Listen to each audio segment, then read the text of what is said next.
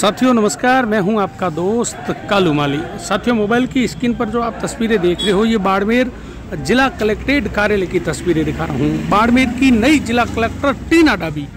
टीना टीना डाबी का आज स्वागत किया जा रहा है साफा और अंबेडकर की प्रतिमा देकर। अंबेडकर जयंती समारोह समिति बाड़मेर द्वारा जिला कलेक्टर का सम्मान किया गया है।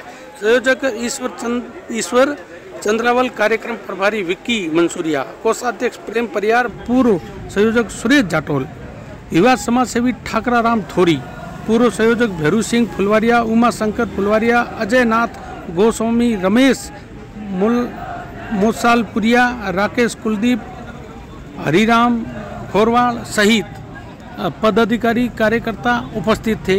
बाड़मेर की नई जिला कलेक्टर टीना डाबी का सफ़ा मालार्पण कर और अंबेडकर की प्रतिमा देकर सम्मान किया गया।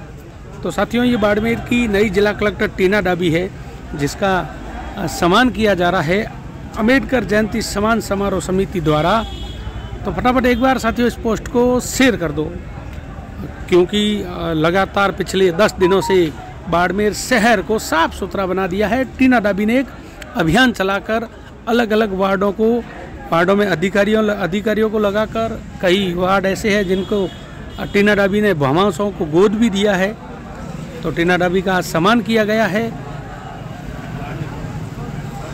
बाड़मेर की नई जिला कलेक्टर टीना डाबी है जो पूर्व में टीना डाबी जैसलमेर में भी कलेक्टर पद पर रह चुकी है।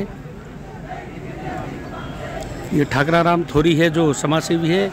वो, वो कलेक्टर टीना डाबी का माला देकर सम्मान कर रहे हैं। धन्यवाद। जय हिंद जय भारत के साथ इस वीडियो को मैं यहीं समाप्त कर रहा हूँ। फिर मिलते हैं नई वीडियो में। तब तक दीजिए इजाज़त। एक बार शेयर कर दो इस पोस्ट को साथियों ताकि सबको पता चले कि हकीकत में कितना अच्छा काम हो रहा है बाड़मेर में जिला कलेक्टर टीना डाबी के नेतृत्व में। जय हिंद जय भारत माता जय भारत माता जय भारत माता। धन्यवाद।